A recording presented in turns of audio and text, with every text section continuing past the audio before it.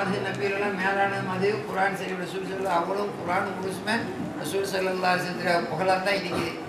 இந்த முனாபிக்கைகள்லாம் சொல்லுவோம் நாய் சல்லல்லா சத்துல அவளை பட்டி இறக்கக்கூடியதுன்னு சொல்லி வச்சுக்கிட்டு அவனை வச்சு சொல்லுவான் இன்னக்கலா தஹதி மஹபப் அதிபா முகமதை நீங்கள் விரும்புகிறவங்களெல்லாம் நேர்வழி செலுத்த முடியாது.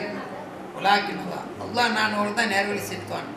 இதே முனாபிக்கை வச்சு கொக்கரிப்பான். இப்படி சொல்லிட்டான் பற்றிலாம் அதனால் அப்படி. ஆலா ஹசரத் நாயஞ்சரா இந்த வசனத்தில் அல்லாஹால ரசூலியை செல்லு புகழ்ந்தது போல எந்த வசனத்திலையும் புகழல. எந்த என்ன அர்த்தம்? நீங்கள் நாடியவர்களெல்லாம் நேர்வழி செலுத்தினா உங்கள் கல்வி அவ்வளோ விசாலமானது.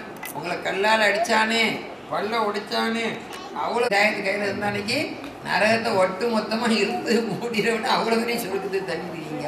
அவ்வளோ பெரிய சொர்க்கத்துக்கு தள்ளிடுவீங்க. அதனால நான் வச்சுக்கிறதுக்கு உங்களை சங்கப்படுத்தினானே உண்மைப்படுத்தினானே அவனை சொர்க்கத்துக்கு கூட தான் நான் வச்சுக்கிறேன் உங்கள் கையில் தந்தா அவங்களை கல்யாணம் அடித்தவனையும் பல்ல உடைச்சவனையும் எல்லாத்தையுமே மொத்தமாக நீ வாக்கெட்டாலாச்சே அப்போ எல்லா ஆயத்துலையுமே ரசூல் சல்லல்லாஹு சிறப்பு.